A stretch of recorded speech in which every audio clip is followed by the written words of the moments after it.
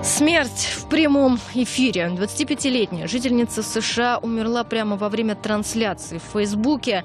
Девушке стало плохо, когда она пела пользователям. В ее доме в этот момент находился ее малолетний сын.